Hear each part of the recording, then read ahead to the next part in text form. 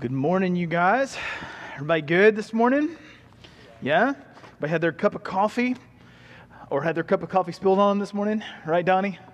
It happens. It happens. I did it two weeks ago, so not to throw Donnie under the bus. We've all we've all been there, right?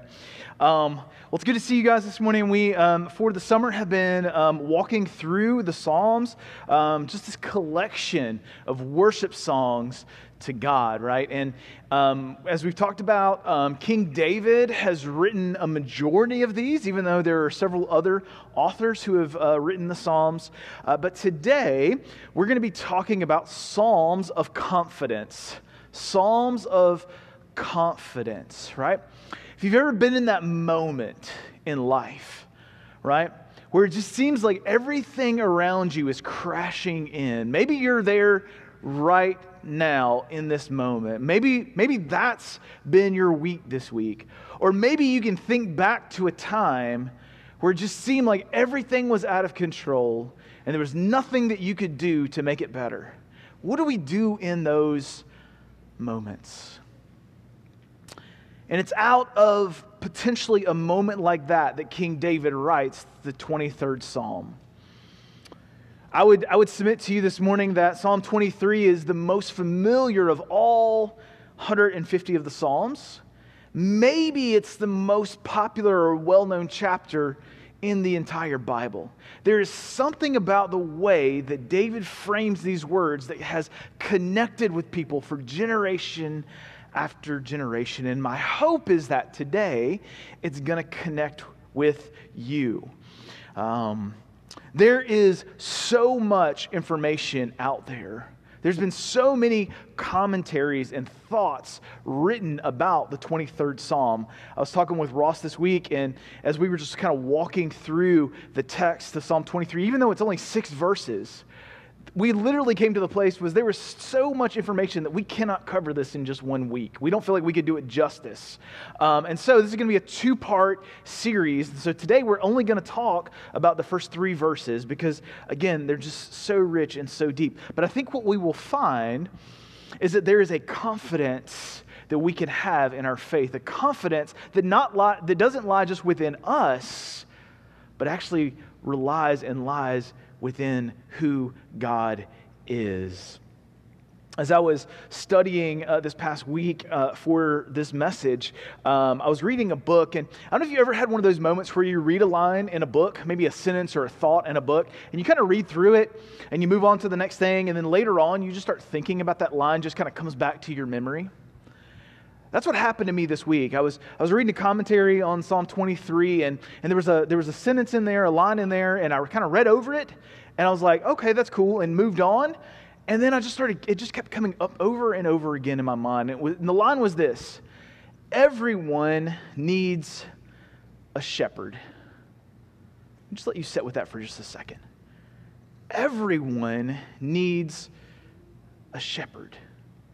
See, if you're familiar with Psalm 23, Chloe just read for us, right? It begins by saying, The Lord is my shepherd. And I wonder this morning, as we find ourselves in 2023, living in a world where most of us, at the very least, would say we walk around with a low grade level of anxiety every single day, where it seems like the worries and the cares of life are just more than we can handle we feel like life is just at times overwhelming to the point where we just can't handle it anymore. And you know, at the same time, we also try to combat that idea by thinking, there's just something I need to do more to fix it. Maybe if I was just something somehow different, then this situation wouldn't be what it is.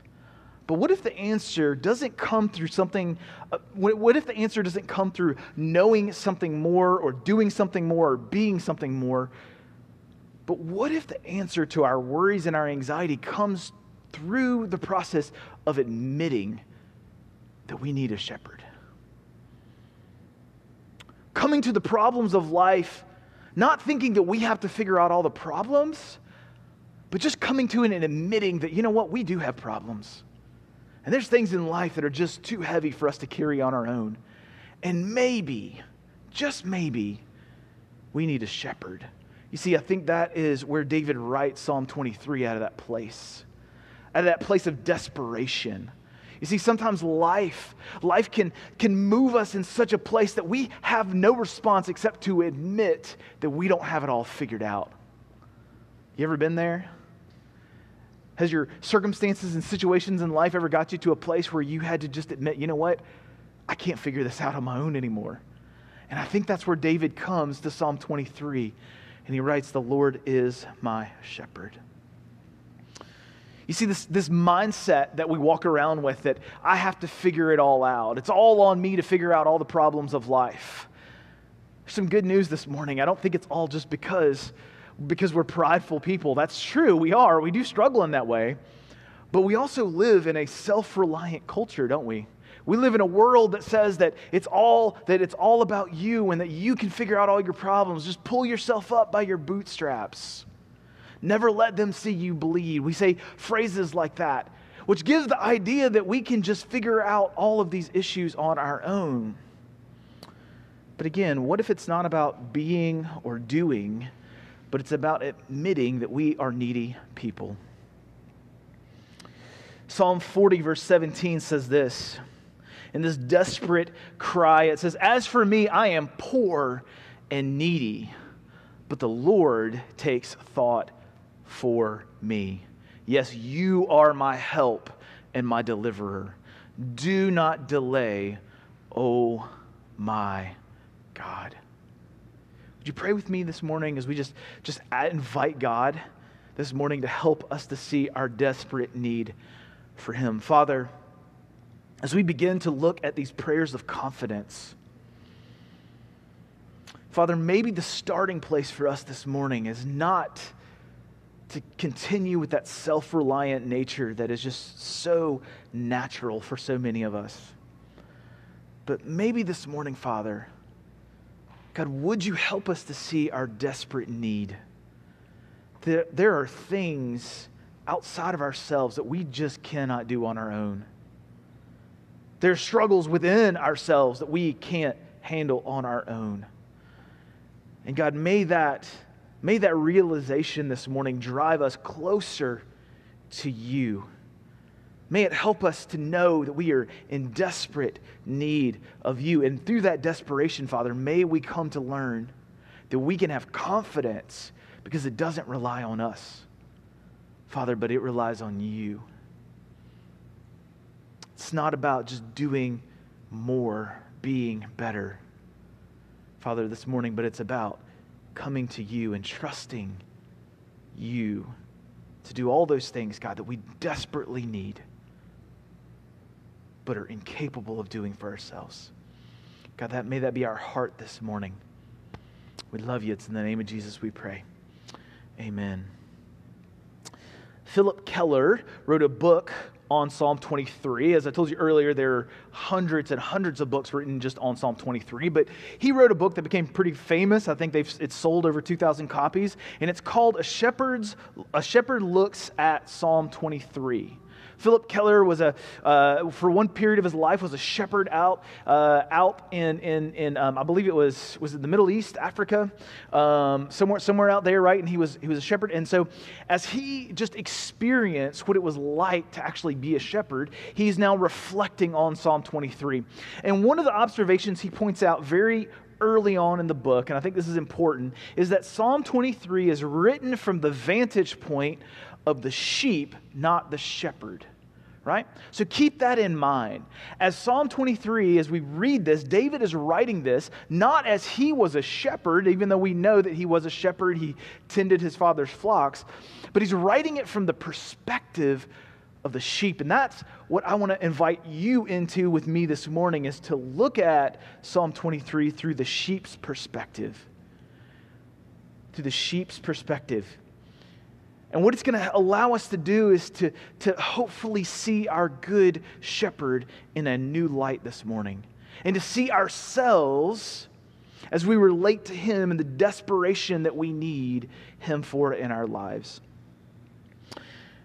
And so I know Chloe read that for us this morning, but I'm going to read it for us one, more time. I'm just going to read uh, the first three verses, which is where we'll be at today. The Lord is my shepherd, I shall not want. He makes me lie down in green pastures. He leads me beside the still waters. He restores my soul. He leads me in paths of righteousness for his name's sake. You see, we've been looking at these four aspects of prayer. If you guys remember, we've been looking at the up, down, in, and out, right? Up is the reverence. What do we, what do we know? What do we learn about God through this psalm? The down is what is our response based on who God is? What we learn about God, what is our response? The inward part is our request. What are those needs that we have? What are those, those relational needs that we have? What are those resource needs that we have? And then the out part of that is our readiness. Then knowing who God is, knowing what our response to Him, laying our request before Him. Now, how does God going to prepare us to go out into the world?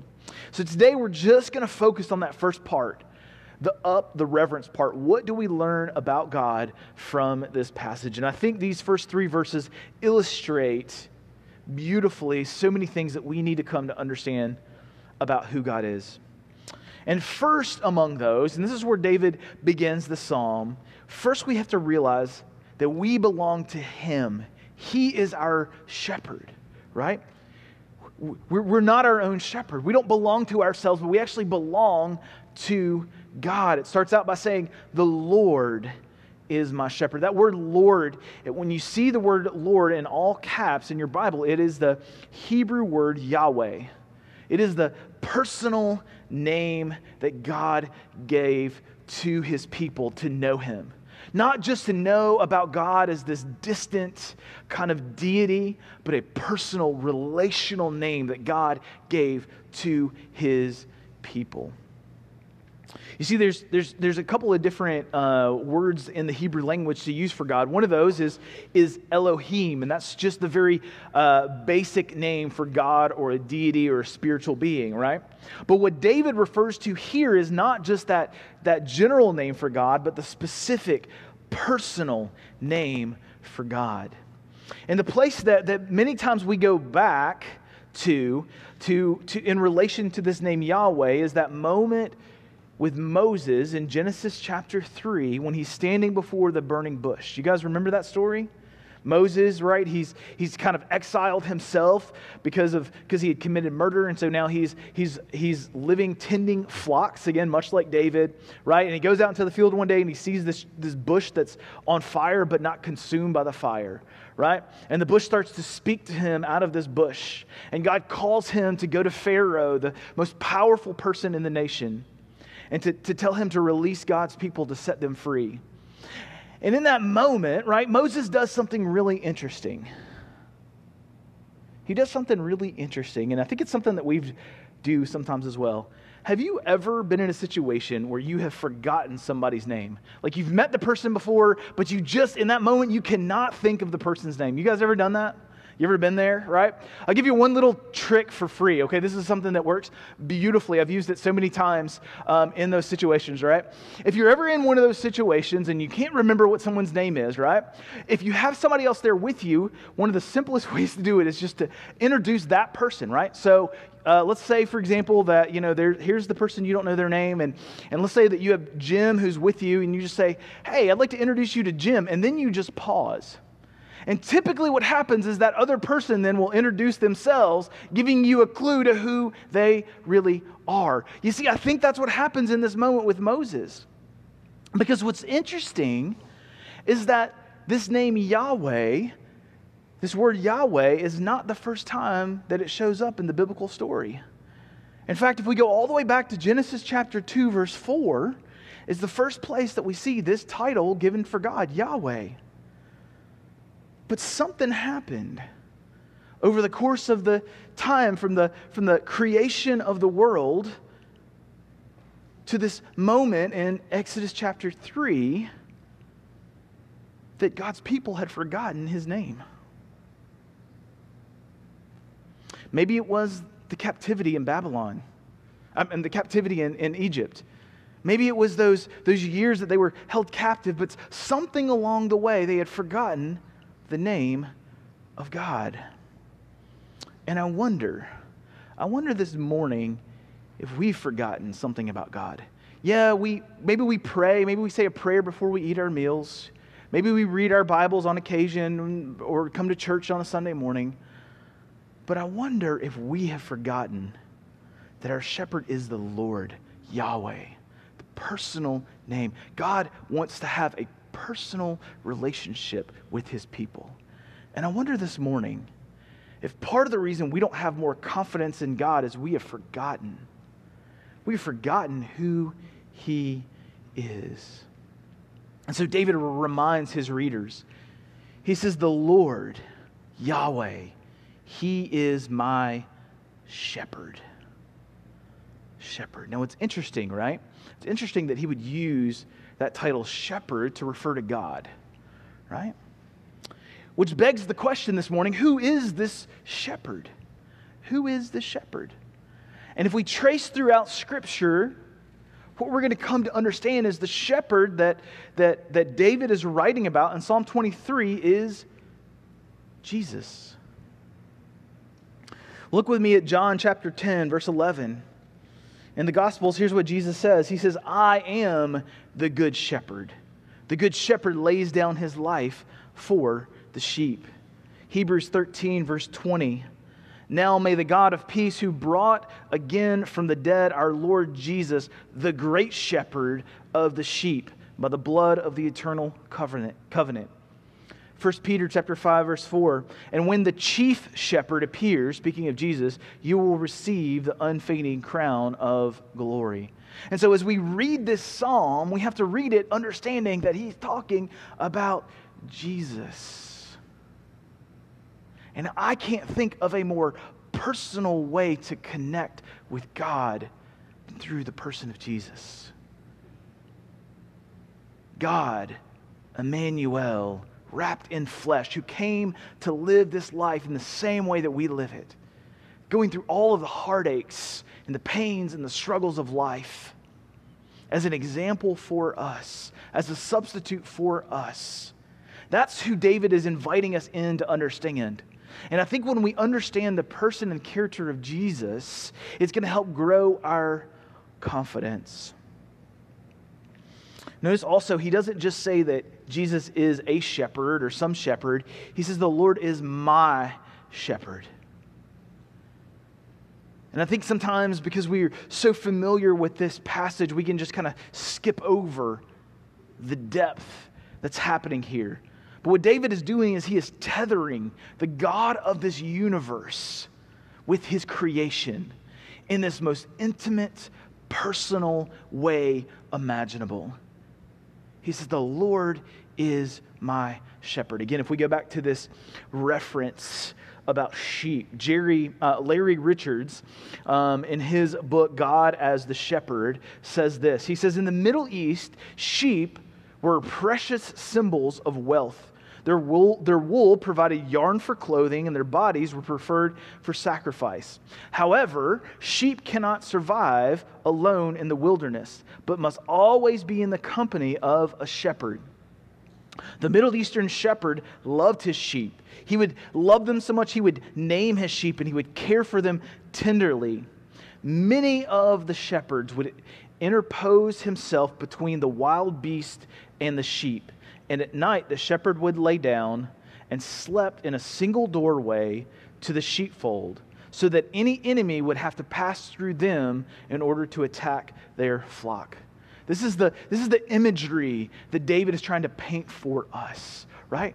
I'm sure David, as, as, as a young boy who took care of his father's sheep, spent many nights under the stars, laying and sleeping in the, the, the opening to that sheep gate as a protection to the flock. And in the same way, that's what he's saying is that God, God in the same way wants to lay and protect us. He wants to be that barrier between evil and us. This is the picture of who God is through the person of Jesus. Danny Akin points out that there's 17 personal pronouns found in these six verses. Think about that.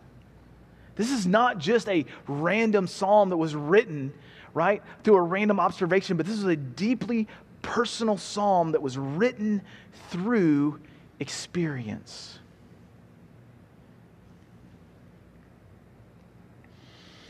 And I wonder I wonder if it has become personal for us in the same way.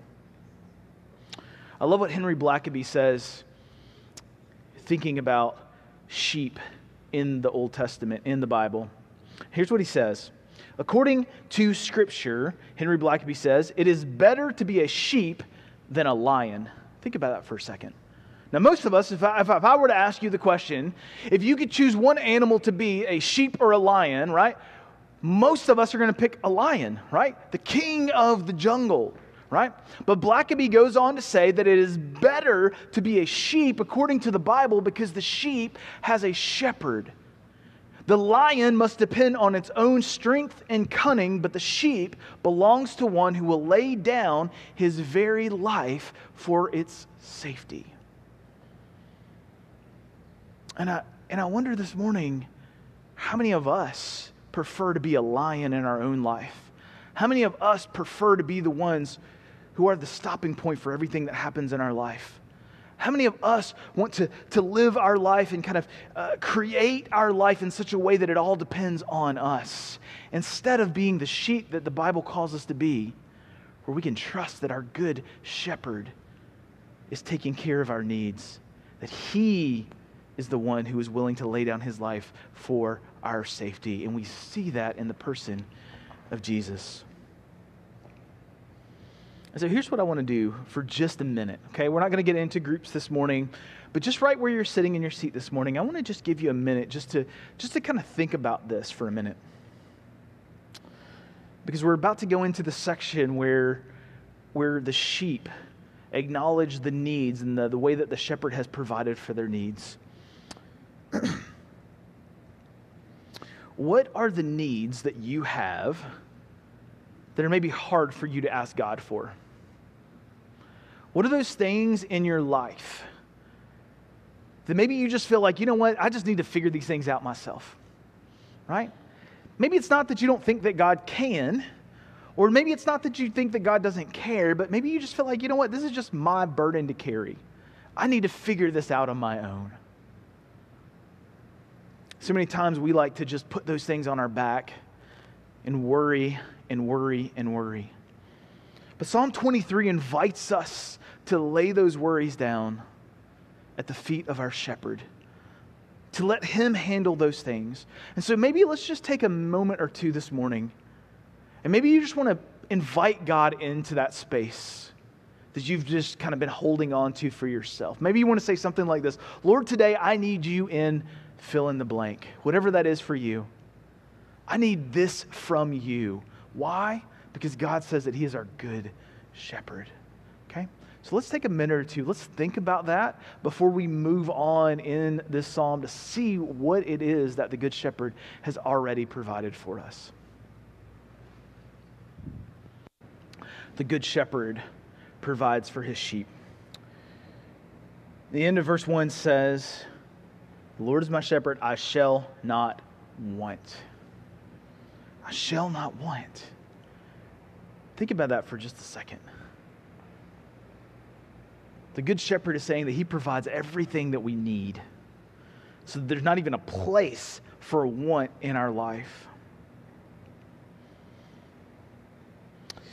Phillip Keller, in that book, uh, Shepherd's View on Psalm 23, says this. He says, Sheep do not just take care of themselves, as some might suppose, but they require more than any other class of livestock endless attention and meticulous care.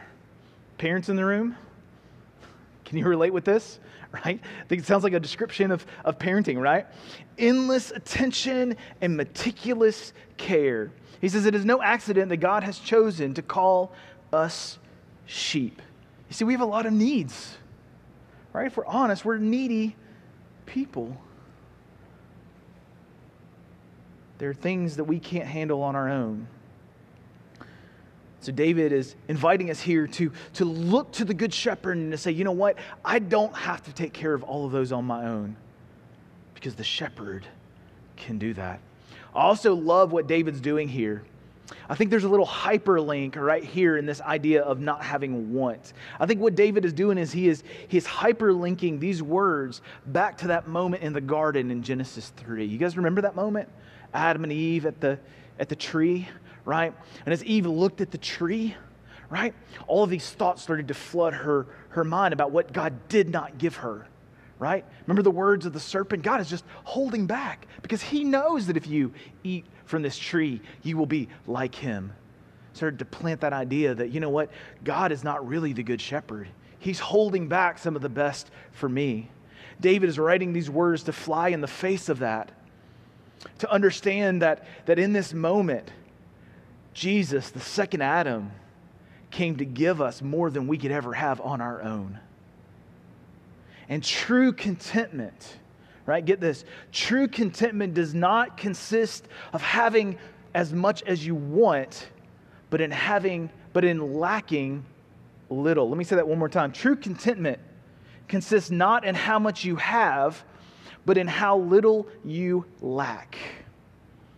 How many of us know people? Maybe we've heard stories, or maybe we know some celebrities who have tons and tons of things, but seems like there's no contentment, right? Here is the Good Shepherd. Jesus is saying that I'm going to give you everything that you need. Does it mean that you're going to be wealthy? It doesn't mean that you're rich, right? But it means that you're going to have the things that you truly need, that you will be lacking nothing. And this goes throughout the gospel story this picture of God providing for his people. Psalm 18, verses 1 through 2 says this I love you, Lord, oh my God, my strength. The Lord is my rock and my fortress, my deliverer, my God, my rock in whom I take refuge, my shield, the horn of my salvation, my stronghold. As I go through the, the waves and the wind of life and I go through situations, I can hold on to God as my rock. In the Gospels, in Luke chapter 12, verses 30 through 32, it says this For all the nations of the world seek after all of these other things, and your Father knows that you need them. But instead, seek his kingdom, and these things will be added to you. Fear not, little flock, for it is your Father's good pleasure to give you the kingdom. See, some of us have this idea that God is just waiting to see what he can snatch away and take away from us. But this picture of the Good Shepherd is one who wants to give his sheep everything that they need. Finally, Psalm 34, verses 8 through 10 says this Oh, taste and see that the Lord is good. Blessed is the man who takes refuge in him. Oh, fear the Lord, you saints, for those who fear him have no lack. The young lion suffers want and hunger, but those who seek the Lord lack no good thing. So, first of all, he takes care of my needs. Secondly, we see here that he gives us rest. David moves on. He says, He makes me lie down in green pastures. Notice the action here. It says that He makes me lie down in green pastures. God knows sometimes that we need to rest. And sometimes God needs to force that hand. He needs to make us rest because we don't do a good job of that on our own. I think David has a good perspective here, right? We always want to keep doing more. We always want to keep trying to get ahead. We always want to try to work harder. But the heart of the shepherd for his sheep knows that at a certain point, those sheep also need to rest.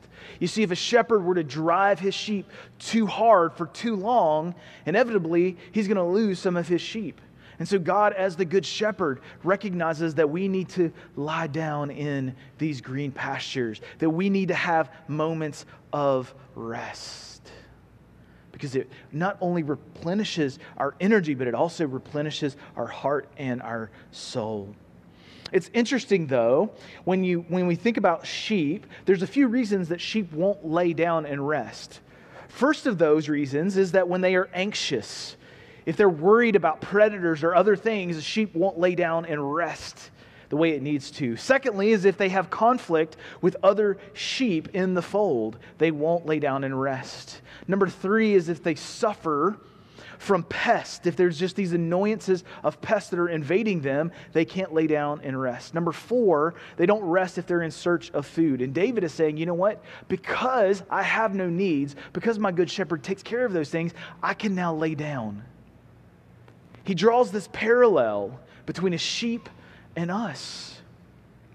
And we've all probably all been at that point in our life where we haven't been able to rest because there's been some sort of conflict in our life, right? Maybe it's been a relational conflict between you and someone else. And you just can't rest because that thing is always on your mind. And what David is telling us here is that, that God's desire for us, God's want for us, is to be free of those things. And the way that we do that, as he's going to say, is that we have to trust our shepherd. And so maybe this morning, maybe someone in this room this morning, maybe some of us in this room are walking around in the midst of a conflict and you just can't find rest. Maybe some of us are walking around with a chip on our shoulder because someone has hurt us, or there's an annoyance or an expectation that was not met. And David invites us to take rest in the company of the Good Shepherd, to bring all of those things before our Heavenly Father, and to trust that He can give us rest. You see, because rest is so important. But many of us, even though we know that we should rest, even though we know it's to our benefit, we continue just to push ahead. Marcia um, Hornok wrote um, a, a, poem she called Psalm 23 Antithesis. And I want to read this for you this morning. And I want you to think about if this describes your life. So she wrote this to mirror Psalm 23. Here's what she said She said, The clock is my dictator. I shall not rest. It makes me lie down only when exhausted. It leads me into deep depression. It hounds my soul. It leads me in circles of frenzy for activity's sake. Even though I run frantically from task to task, I will never get it all done. For my ideal is with me. Deadlines and my needs for approval, they drive me. They demand performance from me beyond the limits of my schedule. They anoint my head with migraines. That's my favorite line. My in basket overflows. Surely fatigue and time pressures shall follow me all the days of my life, and I will dwell in the bonds of frustration forever. You ever been there? You ever feel like that? You ever feel like you just can't get ahead? There's just always that next thing? I wonder what it would look like this week if we just said, you know what? My good shepherd, who actually knows more than I do, says that I need to rest. And so maybe I just need to start to trust him about a few of these things. And yeah, there may be things in my inbox and there may be some pressures that I don't get to. But I believe that my good shepherd knows better than I do. He promises to meet our needs. He promises to give us rest. We're going to move pretty quickly through these next few. He is my satisfaction. It says that He leads me beside the still waters. It takes a tremendous amount of work on the shepherd's behalf in order to find an appropriate water supply in the desert for the sheep. Not only that, but sheep will drink from any polluted source of water. And you guys can only imagine what happens if a sheep will drink from polluted water supplies, right? It won't take long until that sheep is sick or dead. I, this was personal for me. We used to have this dog, right? And I love this dog. He was awesome. He was a great dog, but this dog had one problem. If you let this dog outside and there was any standing water anywhere, he thought that it was just some sort of free reward for him and he would just drink it all right? And not only that, but then two days later, you can imagine what the results of drinking that stagnant, nasty water was. And it was just a mess for like three or four days, right? And so every time we, went, we weren't able to let our dog just kind of roam freely in our backyard, we always had to watch where he went because every time he would drink this polluted water in the same way. David is drawing this, this picture of a sheep is that, that God provides these living waters for us, but yet we always tend to want to go back to these polluted sources. Jeremiah chapter 2, verse 13 tells us this. God, speaking through Jeremiah the prophet, says, For my people have committed two evils. They have forsaken me, the fountain of living water, and they have hewn out cisterns for themselves, places for water, broken cisterns that can hold no water. You see, God is on offer offering us spiritual living water. And so many times we continue to just go back to those polluted sources, trying to find life in other things other than God, whether it's our own ability, whether it's through our finances, whether it's through relationships. All of these broken sources that can never lead to the true, fulfilling waters of life. St. Augustine said it well famously when he said, Oh God, thou hast create, made us for thyself, and our souls are restless, searching till they find their rest in thee. You see, as human beings, we try to find these imitation sources of water. And yeah, they may meet our need in the moment, but ultimately, just like that dog who was going and drinking that stagnant water, they lead us in a worse condition than we were before. You see, Jesus, as our good shepherd, has on offer for us living water. Listen to what Jesus said to a woman, a Samaritan woman, outside of a well in John chapter 4. He says this Everyone who drinks this water from this well will be thirsty again. But whoever drinks the water that I shall give them will never be thirsty again. The water that I will give him will become in him a spring of water welling up to eternal life. One of the interesting points that Keller, Phillip Keller, in, in, in his book, uh, Psalm 23, through the shepherds, looking at Psalm 23 as a shepherd, one of the things that he says in there, uh, one of the ideas that he puts out there is what this uh, still waters could mean is he said it could be a reference to the dew in the morning that would land on the grass and the sheep would be able to, to, to, to get water, a water source, even out in the desert, out into a dry place, from the dew that would be on the grass, on the place they were feeding in the mornings. And I love that idea because it reminds me of God's nature. You see, oftentimes God doesn't give us everything we, everything that we're going to need in one moment right? But it's a daily giving us our needs, a daily meeting our needs so we continue to be dependent on him. I love that. I love that picture that each morning God is giving us what we need. Each morning as we go to the well that does not run dry, the well of eternal life, that we continue to trust God to give us all the things that we need. He moves on, David moves on. He says, Not only that, but he steadies my feet. He says, He restores my soul soul. That word soul in the Hebrew is the Hebrew word nephesh. And it means, it literally means our life or our soul. It has the picture of a, of a throat, right? And this idea of just a, a dry throat and, and the idea of just water that just nourishes our soul. Um, and this is the picture here that he's picturing, right? again, back to the shepherd language, um, oftentimes there's a condition called uh, that a shepherd referred to as a sheep getting cast down. Getting cast down. It was this, it was this painful situation where a sheep would become helplessly stuck on its back and would ultimately die without any intervention. And this is the idea here that, that, G, that, um, that David has when he says that he restores my soul. You see, a lot of people would assume that when a, when a sheep was cast down, right, or in the reference to us when we are in apathy or sin, that the good shepherd would grow frustrated and resent the, the animal. But this is not the response of the good shepherd. The good shepherd comes and gently restores that sheep to its proper footing.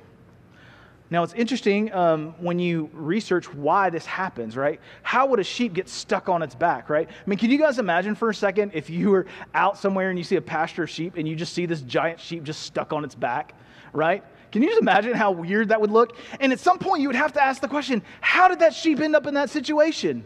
Right?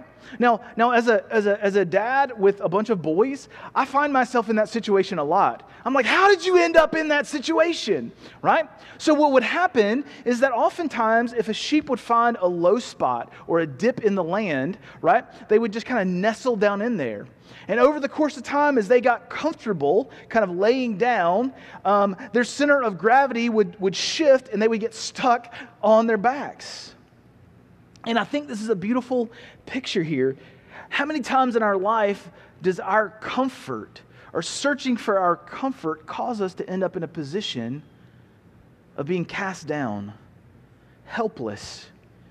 We pursue so hard after our own comfort that sometimes the Good Shepherd has to come and he has to move us out of that comfortable situation for our own well being. And what does it say? It says that he restores their soul, that he puts them back on proper footing. And I, I think, I think for a lot of us this morning, that comfort can be the great enemy to the spiritual life. I think comfort can go hand in hand with our spiritual apathy as followers of Jesus. In fact, oftentimes it's not new Christians who are at the most risk of apathy, but seasoned Christians who've been following Jesus for a long time, who've gotten comfortable in those Christian ruts. And before they know it, they're cast down, they're stuck, they're helpless in their apathy. And so I want us to take a few minutes together this morning, and we're going to have a, just, a, just a short discussion about this. So here's the question that we're going to talk about this morning How have you seen comfort or the pursuit of comfort cause you to become stuck in your life or your relationship with God? What areas in your life do you need to be pushed out from comfort? Okay? Uh, kids, uh, kids, we're going to meet in the back when Nicole and I, and we're going to talk to you guys about the same idea. So if you guys just want to get in groups, um, you know, maybe five or six people that are sitting close to you, let's talk about this, and then we're going to come back and finish these last uh, two thoughts that David has from Psalm 23.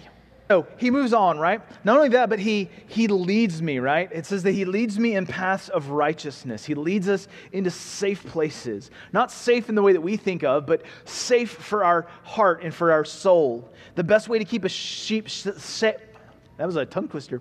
The best way to keep a sheep safe was to keep them moving oftentimes, right? It would keep them safe from the predators if they didn't stop too many times, but they continued on the path leading them to the place that they needed to go. But sometimes selfish behaviors, right, for the sheep, maybe it was overgrazing or laziness, could lead them into danger. And so, inevitably, while on the path, the sheep would wander off from the safety of the shepherd right? And throughout Scripture, this, is, this idea is spoken about us. Isaiah 53, verse 6 says, All we like a sheep have gone astray. We have turned every one to his own way. And the Lord has laid on him, on him, Jesus, the iniquity of us all because we turned away from the heart of God, right? He had to put all of that on Jesus, his son. Proverbs 14, verse 12 tells us that there's a way that seems right to man, but its end is the way of death. But Jesus, as he speaks to his sheep, says this in John 14, 6. Jesus said, But I am the way, the true way, the truth, and the life, and no one comes to the Father but by me. Phillip Keller said this. He said, The stubborn, self willed, proud, self sufficient sheep that persists in pursuing its old paths and grazing on its old polluted ground will end up a bag of bones in a ruined land. I love that, I love that picture, right? He's talking about us. If we continue to chase after these old things, these things that lead us away from the heart of God, we're going to end up in that path of destruction. Not only does he lead us in paths of righteousness, but he does this for a purpose, for his glorious cause, or as David says, for his name's sake. You see, God puts his reputation on the line. God tethers himself with our story. God has a purpose in the places that he's leading us. He doesn't lead us down these paths that are sometimes hard and difficult just so that we can uh, endure the pain, but it's for a purpose. It's for a glorious purpose that his name may be known. Psalm 106, verse 8 says, You have saved them. This is, a, this is a reference looking back on the Exodus story. It says, You have saved them for his name's sake, that he might make known his power. I love what John Piper says about this. He says, God is the beginning and God is the end of all my righteousness. The path of righteousness is his grace as it is his starting point. You see, he is the one who leads us into the path of righteousness. And it is his glory as its destination. He is leading us for his namesake. You see the purpose, right? The purpose of our lives, the purpose of your life, is to bring glory to God. And so when we follow God down the path of righteousness, we bring him the most glory. So let's bring it all home this morning as we look at the Good Shepherd. First of all, I want to ask you what needs do you have? What things are you trying to, to do on your own? And what needs do we need to go and trust the Good Shepherd with? Do you worry this morning about lacking something?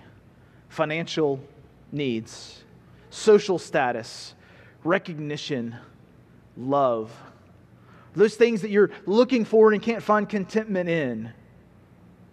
Because the Good Shepherd comes to you and says, You shall not want. He takes care of your needs. Do you worry incessantly to the point of exhaustion? Are you tired and feel like you can't take another step? Do you feel the pressures of life just washing over you? Are you filled with conflict with other people? Or annoyances by other people? Do you walk around with a chip on your shoulder, waiting to explode on the first person that comes in contact with you? The Good Shepherd says that he makes you lay down in green pastures. Do you find everything in life dissatisfying? He says that he will lead you by the still waters. Do you feel stuck in life? Do you feel like that cast down sheep who's laying on their back with no way to get up? Do you feel like your sin has pushed you to the point that there is no place of forgiveness? Or has your pursuit of comfort kept you from doing the things that you should do? This morning, I would invite you to come to the Good Shepherd because he restores your soul. Do you feel lost this morning? Like you're wandering through a path in life with no direction? This morning, I would invite you to come to the Good Shepherd who leads us on a path of righteousness for his purpose. Do you feel like you have to meet all of your needs this morning?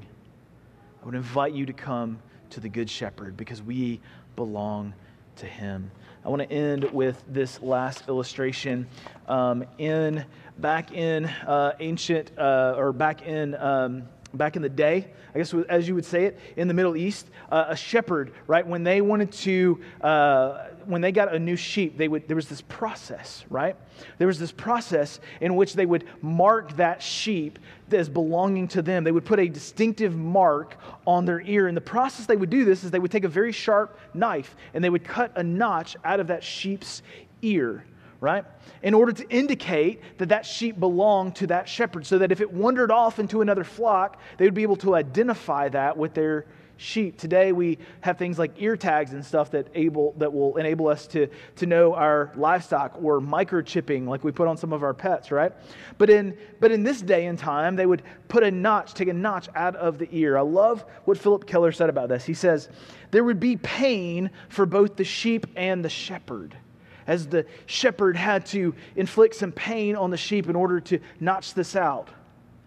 But from our mutual suffering, he said, an indelible lifelong mark of ownership would be made that could never be erased.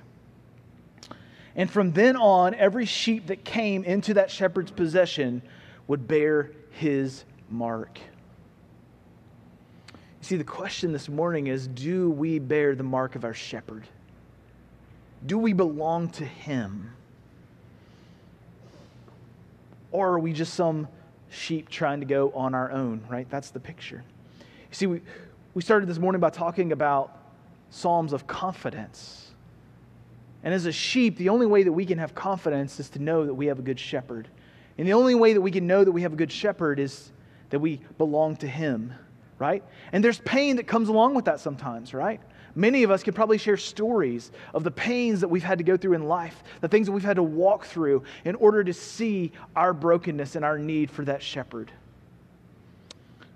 But what I love about this story, what I love about this psalm is that it's a reminder that God doesn't waste the pain that it took to come to Him.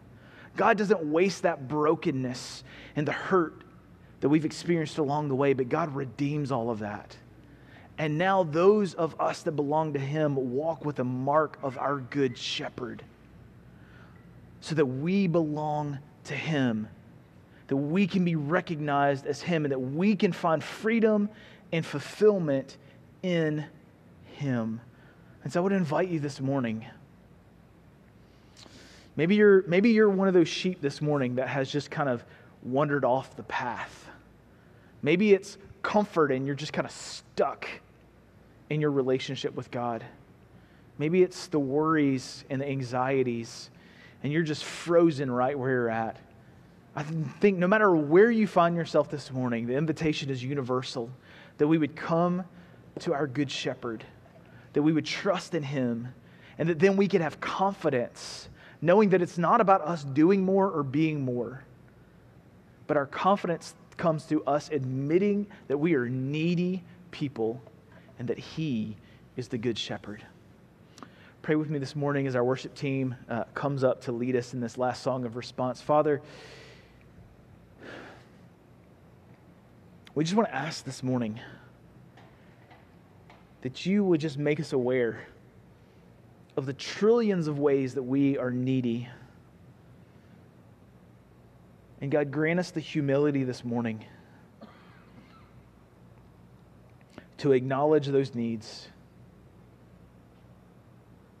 as we start to walk back on the path, following after you. God, as sometimes that's going to look like us maybe this week doing some things that we haven't done in a while. It's going to be uncomfortable. Creating new patterns and new routines in our life this week, all for the purpose of coming to know you, to know that we can have confidence. God, as we come to you and as we ask and as we have needs in our life, that we can have confidence that you will meet those needs, Father, because you are the good shepherd. And God, may our lives be a mark of glory for you. In the places that we go and the things that we do, God, may you receive the glory for that. It's in Jesus' name we pray. Amen.